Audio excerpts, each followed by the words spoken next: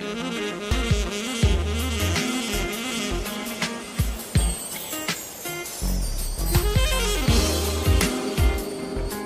name is Angel Harrison. I currently wear the sash Miss Hello Hello Caribbean. My definition of true beauty is that it begins within.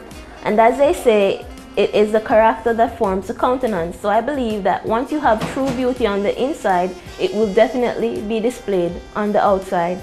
RETV endorses Miss Universe Jamaica to be held on August 30 with our red carpet at 8 pm and delayed coverage of the crowning at 10:30 pm.